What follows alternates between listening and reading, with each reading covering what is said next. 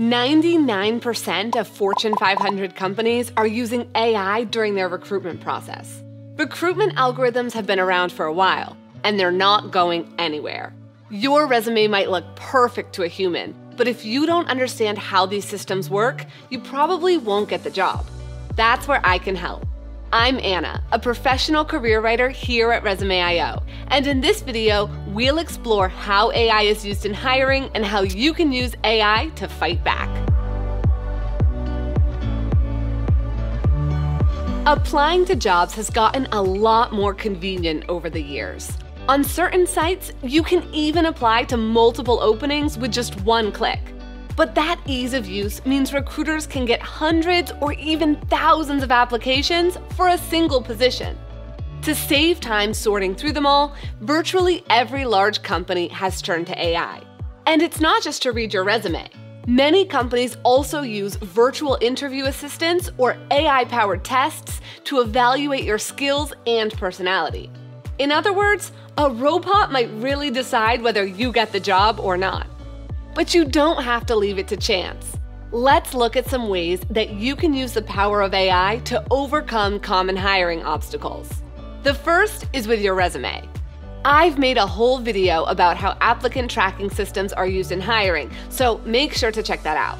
But basically, how it works is that an algorithm scans your resume for keywords programmed in by the company as being important for the role.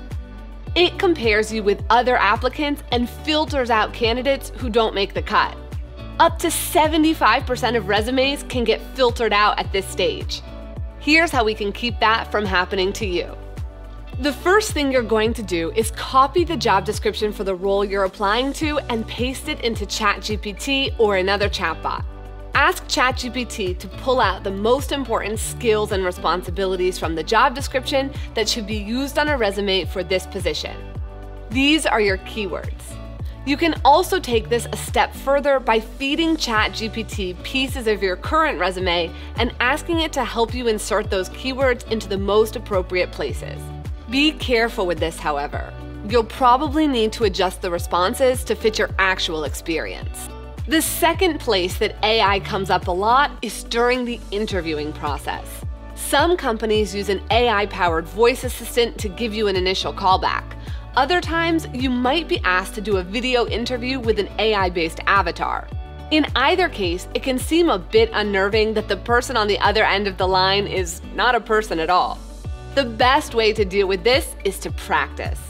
Sites like Career.io offer an AI powered interview room where you can choose from the most common questions for your field and practice answering in front of a computer generated hiring manager. You can watch recordings of your interview and even get feedback on your answers. AI is changing the future of work, and it starts from the moment you submit your application. But you don't have to be a bystander. By taking control of the situation and using AI tools to your advantage, you can land the job with confidence and ease. Make sure to follow Resume.io for more career tips and advice for job seekers.